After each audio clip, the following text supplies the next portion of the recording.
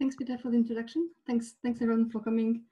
Um, so I give the usual warnings, even though it's kind of way to give them uh, in a virtual seminar. So feel free to interrupt me if you have any question, if anything is unclear. Um, things are supposed to be clear unless I especially mention that they should not. Uh, so yeah, feel free if anything should be clarified. Also, I tend to speak a bit fast. So again, feel free to mention if I should slow down or anything, like just, you know, unmute your microphone and ask away. Um, yeah, so I want to talk to you about um, the asymptotic dimension of, of a graph class. So that's a slightly unusual concept, at least not necessarily unusual, but something that's not so well known uh, in graph theory. So I will try to introduce things slowly and hopefully convince you of how important asymptotic dimension is.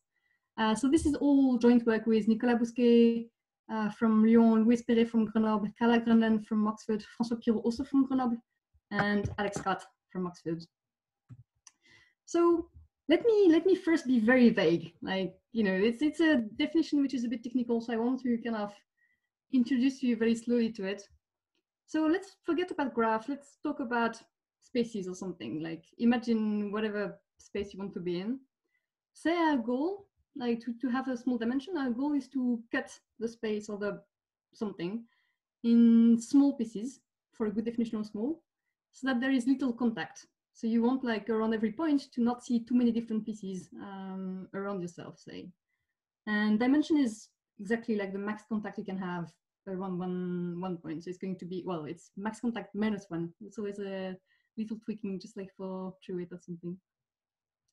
So let's get, let's take a simple example just to see what could that mean. Let's look at reals. So you have the line of all reals, and you kind of wonder, okay, how can I cut this in small pieces so that there is uh, little contact? Well, it's kind of natural that you can't just take the whole thing as one piece because that would be, you know, not a small piece. So you have to cut it in uh, smaller things. And one natural thing to do is just like alternatively, um, I mean, have alternative intervals of, you know, arbitrary length, but like small length, say. And this way you can see, well, you can make everything as small as you like, and around, around every vertex, the most different pieces you can see is two. So you'd have uh, dimension exactly one. And again, like it's not really hard to convince yourself that this does not have dimension zero. There's no way you can do this so that there's, you never see more than one piece uh, around the point. Okay, so that's a simple example. Let's see something a little bit more complicated. Uh, let's see what happens if instead of looking at R, you look at R squared, you look at the plane. So imagine I drew the plane just here, like, so this is a part of the plane, obviously, but you can imagine this is the whole plane. So you can, again, like you can't take just this in, you know, in one piece. So let's try to split it in more pieces. So you can do this in a naive way using the what's going on in one, uh, I mean, in one dimension with the with the reals, and you can try and cut it this way. So you have this, you know, rectangles that paving the plane, and you can see well around every point the most you can see is um, four different uh, pieces around yourself. So this would have dimension at most three. Except, you know, if you look at this picture, you'd be tempted to say, I'm not really being very clever here, right? Because there's a better way of doing this. You're just sliding every other uh, line so that, you know, there's never one point where you see four different pieces. Just making sure, you know, places where something changes in one line, there's nothing changing on the on the next line. So this way, um, you can see that the plane, so I still haven't defined to you properly what the dimension is, but hopefully you can sort of see that uh, the plane has dimension two. And well, actually it's kind of technical to argue properly, but um, intuitively you can try and convince yourself that there's no way you can get uh, below dimension two. Um, actually, I mean, there are tools to, to argue that uh, you cannot do better, but it's, um, yeah, a bit technical. But yeah, intuitively, you can convince yourself of that. So that's just for, you know, reals, plain. I told you I would, I would tell you about uh, graph classes. So what could dimension be in a graph class or in a graph? So take your favorite graph. We said we wanted to cut the thing in small pieces. So you really what you're looking for is a collection of uh, sets, uh, CIs, which together span the whole vertex set of the graph. You want them to be small. So you're going to say, uh, every such set, every CI has bounded diameter uh, in the graph. We go back to what bounded means. And you want to make sure there is little contact. So what could contact be? So you want to say around every point, there is a few things happening. So the um, simplest definition would be to say for every vertex in the graph, uh, you look at the um, number of different CIs uh, intersecting the close neighborhood, and you want that to be not too large. So that's exactly what I wrote here. So you have a graph trying to partition the vertex set. Everything should have small dimension, uh, sorry, small diameter. and you want to minimize the number of different uh, sets you see, uh, every vertex sees around uh, in its neighborhood. So there's an issue with that, which is that if you take your favorite graph and you just subdivide, it, subdivide every edge, say three times, you're going to very easily have very small dimension. So in a way, it's important that you don't just look at things happening around one vertex. Like what's interesting could happen on a larger scale. Like you can have fun to be able to zoom in or out depending on, uh, on the structure of the graph. So instead of looking around every vertex, um, you're going to want to be able to choose what scale to look at the graph, like to choose at what scale interesting things are going on. So does that mean? It means you kind of want to say, I pick my favorite scale, and given the scale, so given this integer r, which is going to present, you know, how, how far I'm seeing, um, yeah, given the r, I will choose a partition of the vertex set, again, such that the diameter of every set is bounded in the graph, and such that now instead of looking at things uh, in the neighborhood, I can say everything, I mean, for every vertex, I look at things happening at distance at most r of it. So I really look at all the vertices which, you know, are neighbors or neighbors of neighbors and so on until I reach a ball of uh, radius r around the vertex. And I try to minimize um, how many different sets I can see there.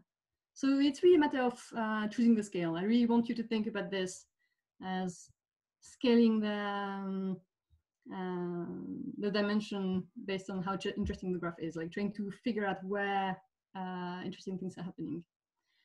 So, okay, this is um, this is for the scale. So now I told you what contact should be. So contact really is like you choose actually what kind of contact you're going for, and based on that, uh, you're going to find the partition. I still haven't told you what bounded is. So what could it be? You're trying to say I want every set to have small diameter, but you also want the sets to depend on the scale you're looking at, which means that if you're going for a constant, if you're going to try and bound the diameter by constant, you're not going to be able to get anything very interesting, right? Because for very large scale, and you know, you're of course going to see many, many, many different sets if you bounded the diameter by constant, and you know, there's going to be a not very interesting behavior happening. So you have to bound it by some function. You want to say, you know, it's bounded by some function of r or something. But if it's if you just say some function, then if it's just for a graph, then you can just take the function being, you know, the size of the graph, and then you just put everything in C1 and you're done. There's nothing very interesting going on. So it's a lot more interesting if you look at the graph class. So it's really, take your favorite graph class.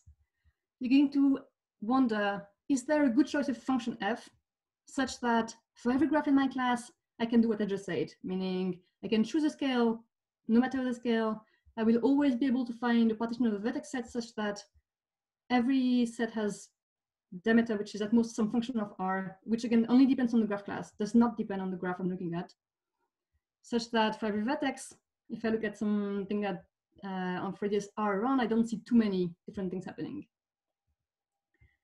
So that, that's uh, one way to, to look at this uh, dimension. So really, if this is true, and if I can find a good uh, choice of function f, then uh, my graph class has dimension at most d. The funny thing is, there's an equivalent definition. It's not clear, it's not intuitive, say that it's equivalent. Uh, it's the way it was introduced by Gromov in 1993. So he was interested in setting of um, group, group theory, uh, geometric group, group theory um, but it translates quite naturally to, to graphs. So let, let me read to you that way. So you want to say, so again, so it's very similar in flavor, but there are some differences. So you have a graph class, and you're going to say it has asymptotic dimension at most d, so that's you know what you want. if you can find a good choice of function f, still the same, such that for every graph in, in the class, you're going to be able to partition your vertex set into this time not arbitrary many pieces, but precisely d plus one pieces. So in this time, the dimension appears in the number of pieces you have. But what you're going to say now, instead of saying that the diameter of each thing has to be bounded, which seems you know hard to guarantee if you only have a very small number of different pieces allowed, you're going to say that just um, every R component, I'm going to define that in a bit, uh, of each set, of each piece has to have uh, bounded diameter. So what's an R component? If you took R to be one, it would be exactly connected, connected component. So, you know, it's easier to define by contraposite. So say a, a component is not a connected component if there are two vertices where there is no path between them. I mean, if there are two components, two sets with no path at all between them. So our component is also easier to define that way. So it's really generalization of connected component. So going to say a set of vertices in G, so it's really like relative to the graph it's living in. It's a, it's not an component if you can find two subsets I mean, if you can partition the set into two pieces, such that there, there is no path of length at most r between them. So again, connected component, it was saying, you know, you cannot find, you cannot split into two parts where there is no path at all between them, so no edge at all between them. Here, uh, it's really saying no path of length r in the rest of the graph between them.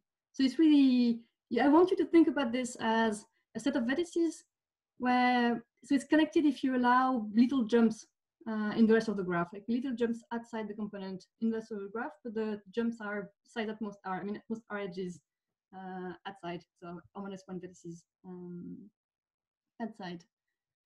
And so it's not intuitive to me uh, why these two definitions are equivalent. Actually, to prove this, you need some deep trick, something called Kolmogorov trick. If you know about this, you understand. If you don't, that's completely fine. We don't we don't actually need to to know what's going on there. Just say these these two things are equivalent. So they don't necessarily have to be true with the same function f. And it's not clear, you know, given, I mean, it's quite clear given things in the second case, it's quite clear that you can derive stuff in the first case, but the converse is absolutely not straightforward because you might have to merge some CIs and stuff. And like, it's not, it's not necessarily true that you could get the same function in both cases, but at least the two definitions are equivalent in terms of dimension. So uh, you can think of one or the other depending on which one you're most comfortable with. I'm, I'm aware this is very technical. I will give examples in just a bit, uh, and hopefully this will all be very, very clear. Uh, before I do that though, let me add some motivation for this, and not some motivation, but links to stuff you might be more aware of. So there's this definition by Gromov coming from geometric group theory. And you also have links with standard, well, almost standard coloring, uh, because if you take the special case of uh, scale uh, R being one, that's exactly something called weak diameter coloring. So you're just, you know, having a normal coloring, you know, good old coloring uh, of vertices of the graph. You just say that um, for every color you look at, every connected component has a bounded diameter. And this is somewhat related to something called clustered coloring, where instead of bonding the diameter of a component, you're bonding the size of a component. So this is a stronger, stronger requirement, but if you're in a graph class where everything has bonded uh, degree, then this is equivalent. So there are some connections there, some connections there, at least in some graph classes. And another funny thing, in my opinion, is that this is almost exactly what's going on. I mean, what's uh, some people in TCS are interested in, which is called weak sparse partition schemes. I'm not going to define this properly. Uh, so it's essentially exactly what's going on with uh, small dimension, except that you cannot have a trade-off between diameter and dimension and you care a lot about whether you can compute them in polynomial time. But the message I really want to send here is that this is studied in lots of different settings for different reasons, like with focus on different pieces, but it's not so much studied in, in the context of graph classes. And one of the points of my talk is to try and convince you that you should work on this, or at least you should uh, care a bit uh, about this. It's, I think it's an interesting problem. Okay, I promised you examples. Let me give you examples. Um, let's do trees. Trees, you know, that's that doesn't seem very scary. So the example we saw with uh, reals, that tells you that path uh, are fine, you know, path behave exactly like reals in some sense. So you can easily prove that the class of path has dimension one. It's not very, very hard. But with trees, you know, it can go in, you can have a very large uh, degree and stuff like that. It's not so obvious how, how to partition things. Like you can't just have intervals and stuff because you need to control how they explode, how they branch, etc. So let's take a tree. You want to say, you want to argue somehow the class of trees has bounded dimension. How do you do this? So you take a vertex in the tree. I mean, you can assume the tree is connected because, you know, if it's not, just do every component independently, everything is fine. So let's assume it's, connected. Um, take a vertex, do a BFS from it. So really look at vertex distance one, distance two, distance three, and so on. And we're going to partition the vertices based on that uh, BFS layering. So I drew you here some picture in the sense that, so you have your vertex U, something happened before, you don't really care what, so you have like, you know, some L layers before. You're looking at things at scale R, so you're doing try and partition so that, you know, the diameter is bonus function of R and around the vertex, you don't see too many things happening at distance R of yourself. Um, so after, you know, so something happened before, you don't care, you're just going to look at three consecutive layers here uh, of size 2r. So you remember r is your scale, and you kind of want to control, like you want to partition such a way that things, you know, don't interact too much again. So you have these three bands of uh, height 2r. So you really, again, like the bottom of the layer, each layer, the distance 2r of the, of the top. So let me just tell you how to partition the bottom layer, and then hopefully we can convince you that you can do this everywhere, and you know the partitioning scheme works. So you look at things happening on the top of the second layer, so on this line here. I hope you can see my mouse. So you have, you look at the vertices exactly here, so distance, well, 2r plus l exactly of, of u. Um, let's pick two vertices arbitrarily, v and w. You're going to do this for all vertices, but it, to convince you, I only need to look at two. You look at the uh, descendants in the in the tree from you. So the the, the descendants of v are completely disjoint from the sense of W because we're in a tree and, you know, we're at some point in the BFS, so, you know, there's no risk of things merging again. And what we're going to do is just say, we don't do anything for the first layer after V and W, but for the last layer, we're just going to say all distance of V here gets in one set and all distance of W there gets in one set. So we do this, you know, for every vertex at distance exactly, I mean, uh, every vertex in the, in the line where VW is, we do this, and we do this actually for every at every frontier between two consecutive um, bands. So now let's think about what can happen. So say you're a vertex, you live in this tree, you're somewhere, say you, you're somewhere in the top of CV. How many, how many different see something can you see? So you can see something on the top, for example. But if you see something from the top, it means you're close enough to the top of the band that you don't see anything at the bottom. So vertically wise, you can only see uh, one person. I mean, you can only see either above or below, but not both. So you can only see one person. Uh, I mean, one other see something vertically. And horizontally, how could you be, you know, too close to some, how could you be a distance at most r for some other sets? Like the shortest path from CV to CW has to go all the way back to V, then through the band, maybe actually a lot higher, then to, through W and back. So whatever happens, the path is length more than for R. So there's no way you see anything horizontally. So really, in each band this way, you essentially have just connected components, well, R connected components um, of bounded diameter, and that's it. So this way, you can make sure uh, the class of trees has a dimension two. Uh, sorry, that one. so you have contact two, and you know that's the difference of one between number of contacts, meaning how many sets you can see, um, and dimension. So the vertex can see, I mean, a distance r can see at most two sets, so dimension one. So exactly like path. Trees are very nice. So one thing which might be disturbing to you, I don't know, is that if you think about what CV looks like, is very not connected. I mean, it could be connected if it's like degenerate, but in most cases it's not going to be connected. And that's completely okay. Uh, meaning in the definition, we really care about the diameter in the graph. We don't really care, I mean, we do not want to care about the diameter in the graph induced by the component. And actually, even for trees, if you were to enforce that, you know, if you were to use the same definition as before, but say every CI has to be connected, then you would have actually unbounded dimension. Like if you just take even a binary tree, there is no way to cut this into connected components such a way that you have bounded contact. Even if you allow, you know, things to overlap or anything, it's completely hopeless. So that's a good reason why we care about the diameter of the sets in G and um, not in not in uh, in the graph induced by the component. Do you have any question until now? Or should I move on to more complicated examples? okay, feel free to interrupt later uh, if you change your mind or you have some more, yes, for some clarification on the definition. So yeah, so I told you in this definition, we think we care about partitioning stuff which such that everything has a small diameter and you don't have too much contact and stuff. And I told you trees are nice, but if you think about it, if you were to add some big cliques somewhere in the tree, would it really ruin much? Like whenever you have a big clique, it has very, very small diameter, it's just diameter one. And as long as they, these cliques will not interact too much with each other, then there's no reason why things would go wrong.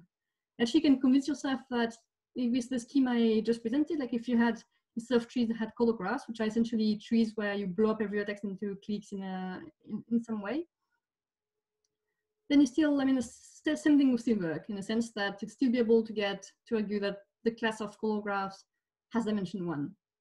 So it's really, it's not so much about tree, like, you know, trees are things which don't have a cycle. I mean, that's, that's a usual definition of trees.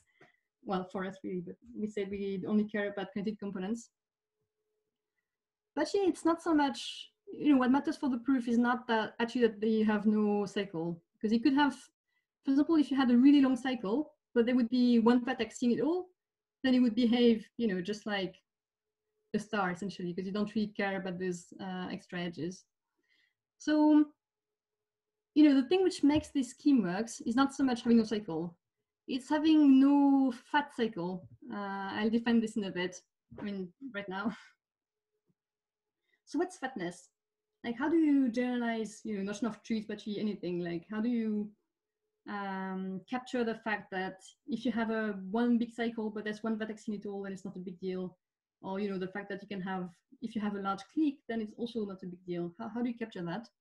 So this notion of fatness where, so you're going to have something like, I mean, you're going to look at minors. So here I define something called a banana. It's like uh, really just a theta. Um, so what's a fat banana?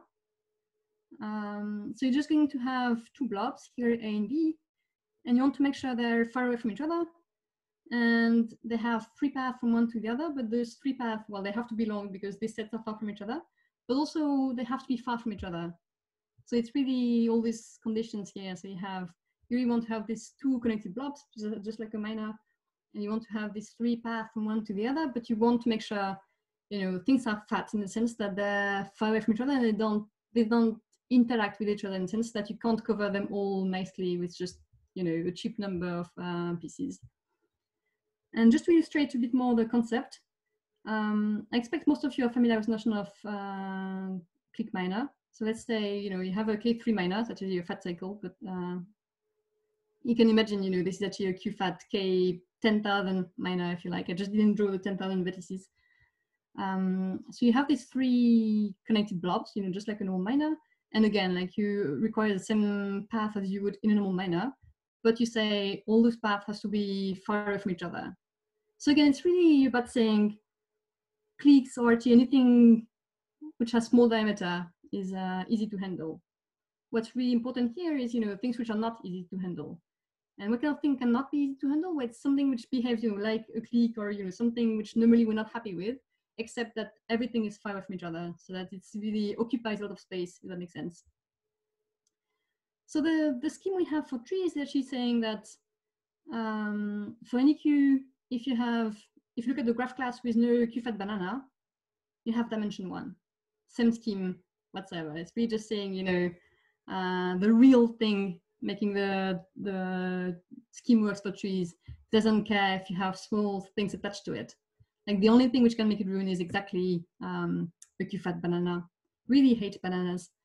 Anyway, So why is this interesting? Like, why am I telling you about QFAT bananas? Like, don't expect to see them uh, in real life usually. So let me tell me, let me tell you about the next generation of trees. So you know, we had these examples with reals and then the plane, and I told you about paths, and trees. The next obvious step is what happens for planar graphs. So for planar graphs, this is this nice theorem of uh, Fujiwara and Papasoglu from Machi this year, I think it was February, uh, where they prove that the class of planar graphs actually has asymptotic dimension at most three. Actually, the way the way to do that, if you go back to what I told you about for trees, is very similar. So again, it's about having BFS. So, you know, you do one BFS, you look at some uh, band of like some given width, which is some function of R. And this time, you know, it's it's not it's not going to be as nice as it was for a tree. But what you can try to say is that um, it's kind of like an outerplanar graph. It's not quite an outerplanar graph, you know, but if you look from really far away, you could almost believe it's an outerplanar graph. And then you could say, okay, outerplanar graphs seem more encouraging. Actually, they have they have no QFAT banana. And then you could try and say, okay, let me take a BFS again in that band. Some, you know, I'm hiding technical details, as is probably obvious, but um, yeah. So the idea is we have this, have take one BFS, have these bands, and in each band do BFS, BFS again, and then you can use something, you know, have contact two. But then if you do this in naive way, you know, every vertex, say W here, would have, you know, would see two different balls. Uh, I mean, be see a distance at most r, two different sets, see something from below, and also maybe also two from above, and then you would get, you know, contact four, so dimension three. So that's um, essentially what makes the proof of Fujiwara Papasoglu work. So there is a, yeah, you have a single dimension at most three, we know, well, yeah, we know um, from the case of plane that planar graphs do not have a, I mean, that they have a split dimension at least two. So the big question is, you know, is it two or is it three? And to answer that, I really need to tell you um, how to use this notion of QFAT banana. I need to tell you about some theorem of uh, Brodskiy, Dydak, Levin, and Mitra uh, from 12 years ago which I mean, it was studied in, in context of metric spaces, but that's not very far away from graph classes. So informally, if you have a graph class, where for every graph in that class, you can find a layering. For those of you who don't know what layering is, think BFS uh, layering. So you're taking bands of arbitrary, uh, yeah. So if you can find a layering such that any constant number of consecutive layers induce a graph from another graph class, for sure. Then the dimension of your graph class is at most one more than the dimension of that other graph class, which you know kind of um, appears uh, for any any constant number of consecutive layers in your layering. So it's really saying if you can if you can see if you can observe that there's a simpler structure for any consecutive number of layers, then you're happy.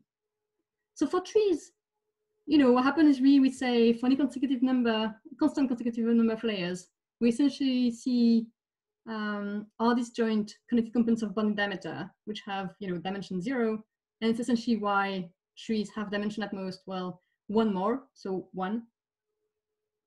And now for planar graphs, I, you know, I kind of hinted at it saying, if you take a planar graph, do a BFS, you can hope that, you know, the each band in, uh, in the BFS tree looks like an outerplanar graph. So it's formally, you know, they don't have any fat banana, essentially, for a good notion of fatness. I mean, for a good Q in, in the fatness.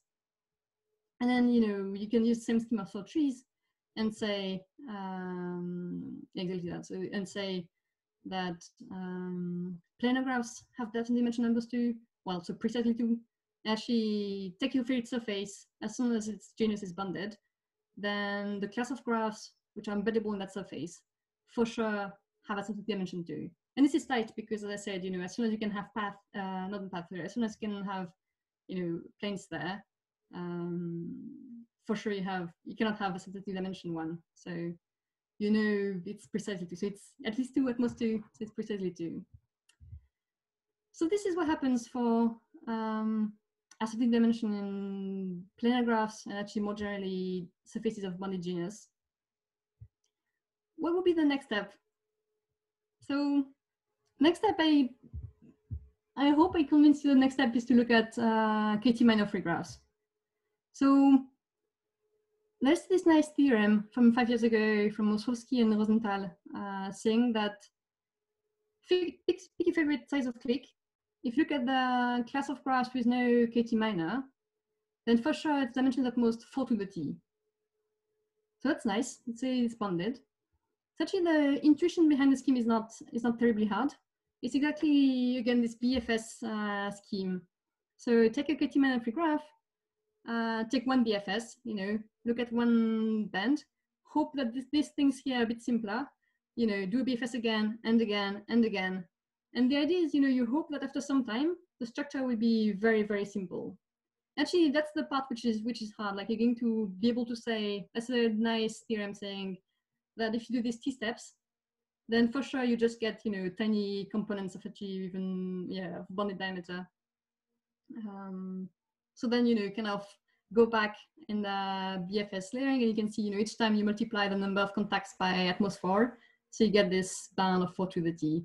I mean, again, I'm sweeping a lot of uh, details under the carpet, but really the idea is having this nested BFS and really hope that, you know, structures get simpler and simpler uh, as you go. And actually, funnily, um, the same arguments would work if you look at uh, fat KT minors. Like if you forbid, I mean, if you include fatness in the forbidden minor, then it also just goes through. It's even um, simpler in a way in the proof, but uh, let me not go into that.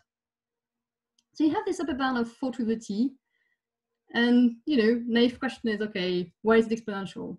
Could it be, could it be improved?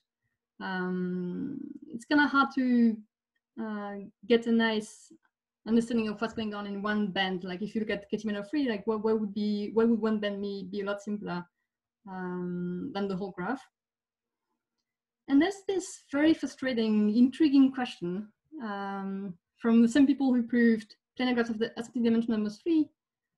They asked, is there any reason to believe that it's not just a constant?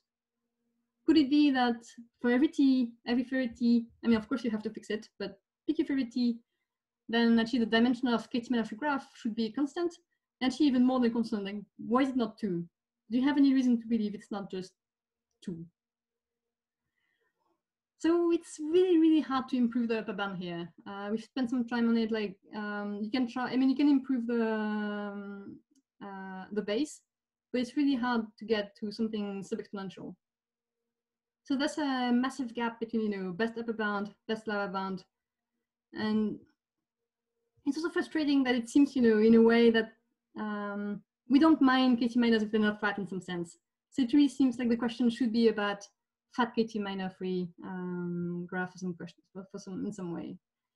But as I said, like this, this upper bound is really, it's really hard to imagine how to improve. Uh, I mean, improve this in a significant way, say.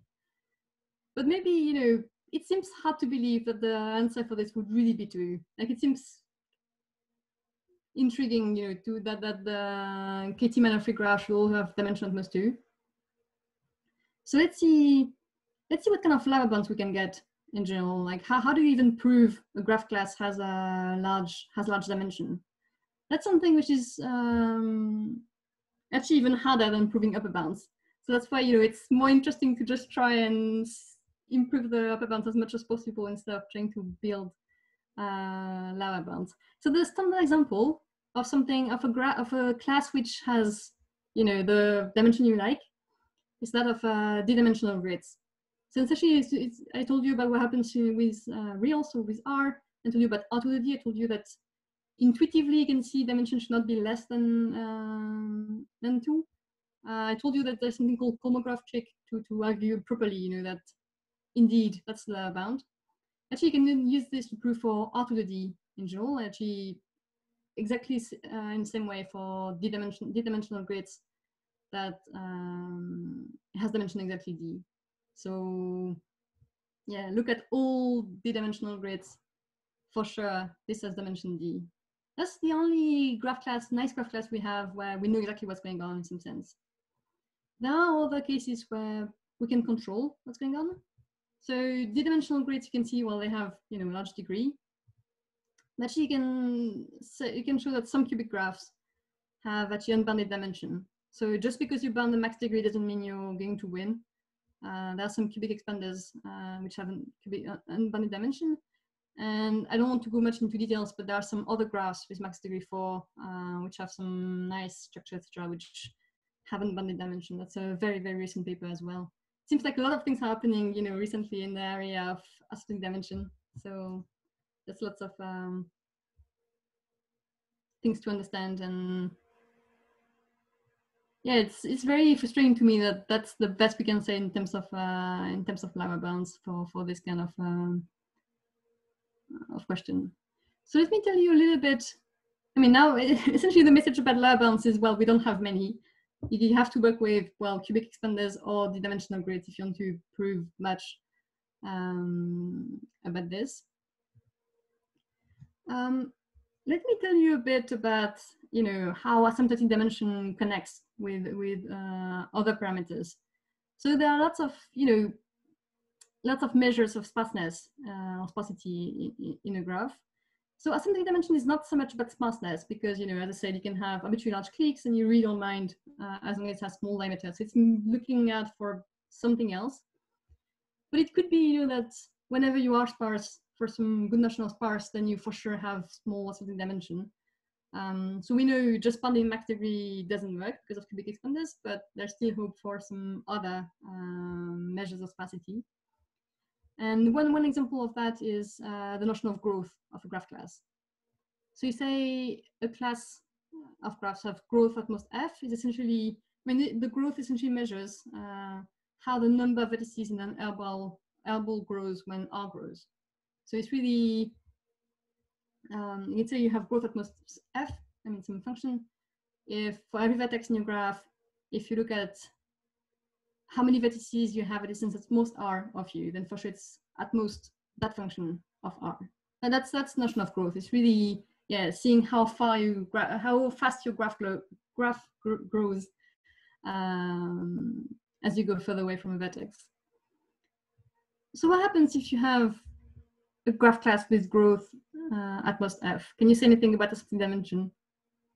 So if the growth is polynomial, actually using again this layering trick, this time not a BFS, but an actual proper layering, um, you can argue that, yeah, if f is polynomial, meaning is bounded by some polynomial function, then for sure your graph class has a bounded dimension. There's no way to avoid that. Like if you, yeah, if your growth is polynomial, then your asymptotic dimension is bounded.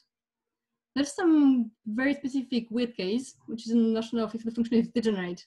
So such an important case uh, in some sense. So degenerate means, you know, regardless of how the function behaves in the rest of the cases, there is some r, some value of r, for which uh, f is at f of r is at most 3r. So why is that value important? It's an important value because if you look at a much, much, much subdivided uh, graph, if you take a vertex of degree at least three, I mean precisely three actually, the number of vertices you see around distance r is 3r plus 1. So if you know for some r you cannot have this, it means you know the graph really cannot grow very fast, cannot grow essentially at all. Like it has to look like, you know, with lots of quotes around, look like uh, a path or a cycle essentially.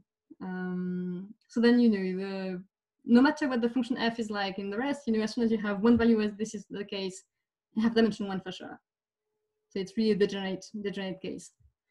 And then what's the what's the remaining case? So remaining case is you know it's not polynomial, so it's not bounded by a polynomial function, and it's not degenerate, meaning it's at least three r plus one for every for every r. And the thing which is interesting uh, to me is that if your growth function is well neither polynomial nor degenerate, then you know your graph class could have unbound dimension, meaning there is no value of f other than polynomial degenerate, which guarantees bounded dimension. So essentially what you do is you take you take the um, an appropriate size, uh, sorry, an appropriate D, look at uh, all D-dimensional grids, and you're just going to blow up, and you're going to subdivide every edge like lots and lots and lots of time to ensure you know it doesn't grow too fast. And uh, for every vertex, you're going to replace it with also much subdivided binary tree, just trying you know kind of slow the growth as much as possible. And then for sure, no matter which function f you're aiming for, there's a way to there's a way to do this enough that uh, for every r, the growth at, mo at most uh, f of r. And then, you know, you can, you can show essentially that the, when you do this, the dimension does not change. So you still have dimension d for whichever d you like. So it's not possible um, to have a bound no matter which function f uh, you're hoping for. So one thing which um, is funny here is that at first when we started studying this notion of asymptotic dimension, we thought that um, sparsity could not help for dimension because we thought that the case of uh, one planar graphs, for example, like uh, we thought that whenever um, uh, I mean, we just observed that essentially asymptotic dimension behaves well with respect to subdivisions. You subdivide every edge many times, then you know dimension essentially is not impacted because you have this way of scaling. So if you just you know subdivide everything 10,000 times, well, you just multiply your scale by 10,000, still see the same picture essentially. So we had this idea that subdivision does not impact anything, which means, you know, take your favorite graph, subdivide it enough, it's a one planar graph, and you know, one planar graphs are sparse for some good notion of sparse, which is the, which was our, you know, reason to believe that uh, if you're sparse, then for sure you have, um, I mean, you, you, for sure you cannot ensure uh, that you have bounded asymptotic dimension. But the small trick here is that the subdivision has to depend on the graph, right? Depending on which graph you're looking at, you have to subdivide it a lot and a lot more to make it one planar. I mean, before you can make it one planar. And that's the issue, right? You could trying to do it for a graph class, not for a given graph. And that's actually one uh, big open question for us um, like big, you know, it behaves well with to subdivision, but you have to make sure subdivisions are uniform, you know, over the graph class. You can't subdivide every graph arbitrary much, otherwise, you know, there's nothing much to see anyway. Like, uh, um, yeah, it has to it has to, to be subdivided a bounded, bounded number of times. So it could actually be that one planar graphs have a unbounded dimension. That's a very surprising uh, case in a way for me everything we have so far just fails for one planar graph somehow. Just because, you know, in, in whenever you do a BFS layering on the one planar graph, then there's absolutely no reason why uh, one layer would be simpler than, uh, than the whole graph, essentially. Just because, you know, since you allow edges crossing and stuff, you don't have really this notion of outer planar-like graph. And yeah, depending on the day, I oscillate between, you know, saying it should be bounded or could be arbitrarily large it's really unclear um, what's the right answer here. And there's this very disturbing question about fat minors, you know, that we can prove um, for every t, if you have no fat kt minor, then you should have, you know, dimension that most four to, four to the t. But the conjecture, I mean, the conjecture is actually with no fatness, saying just that um, kt minor free graphs should have dimension two, I mean, yeah, precisely two. And it's really hard to understand what's going on here. It's really hard to see how to make like a say general statement saying if you can't say anything for H minor free graphs, then you should be able to say something for fat H minor free graphs. It's kind of disturbing in some sense that it's such an intuitive notion that, you know, of course, if you glue some stuff to things and they don't interact much with the rest, then you should be fine. But it's hard to, uh, yeah, have a full argument why uh, this should be helpful in any way. Um, I think that's that's all I wanted to say. So thanks. Thank you, Marthe. Um, does anyone have any questions?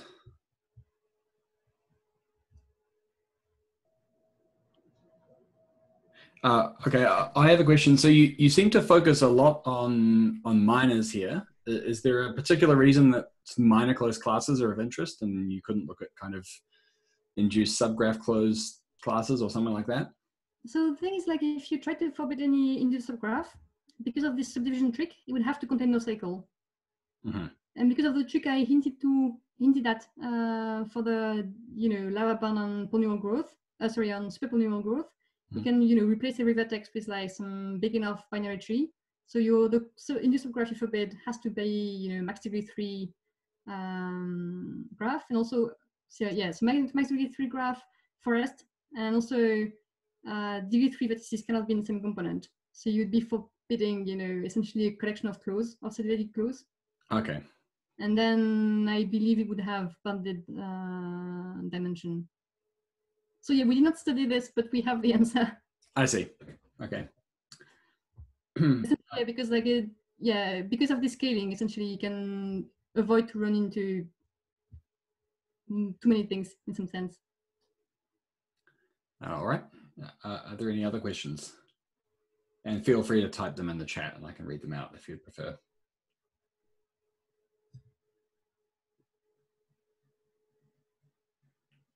Well, if not, then uh, thank you again, Marthe. I'll stop the recording now.